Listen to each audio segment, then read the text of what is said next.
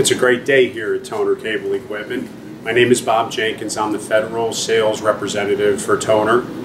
I've been doing this for about 25 years, and uh, believe me when I tell you I enjoy every bit of it.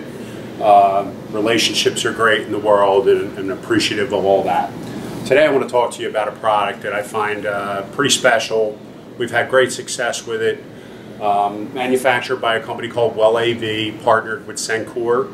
Um, they, the product today is the CMP 100. Uh, soon to be changed to the OmniHub 16, so soon down the road this will change to a different part number.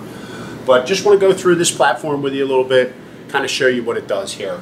Um, so very dense, 16 card slots, redundant power. Um, and then I'm going to show you some of the modules we're using here. But this chassis will do IP in and, in and out. It has two gig E ports, so you have plenty of uh, headroom for your traffic, as well as GUI ports for you to go in and do all your settings for all your different modules.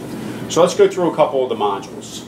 We have an SDI module here that we could do SDI in with embedded audio or SDI and embed the audio via terminal strip. Two channel card, MPEG-2, MPEG-4, IP, or QAM.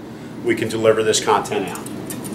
The next card I'm going to show you is our HDMI card. This is an MPEG-2 only card. This will allow us to do HDMI in with closed captions. So we have our, our CVBS inputs or our CC inputs, we'll call them on this one. Uh, they embed the captions so that we can then encode to MPEG-2 send this out in QAM or IP.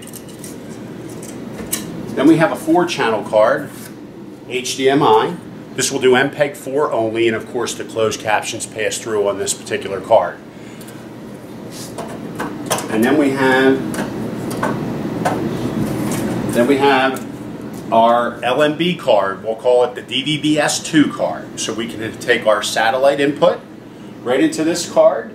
If there is encrypted content, and it is ported to this device, we can put our CI mod cards in here to decode that signal so that we can then send it through the backplane and deliver it out IP or QAM.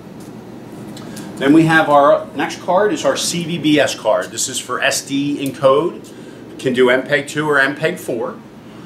This allows us to do four channels per input. So there's a, a, a DIN plug, breakout cable to do up to four SD encodes per slot. So eight channels total in this card. And then we have our QAM card. So this is a 16 channel QAM card, non-consecutive stream or non-consecutive channels. You could put the QAMs wherever you want in the spectrum. Uh, and if you're not limited to 16 channels, we can add cards based on what we're putting in here from a content perspective. We can loop IP into this. So if you have 80 channels and we're looping into these chassis, we have the ability to output them because there's plenty of bandwidth within these units.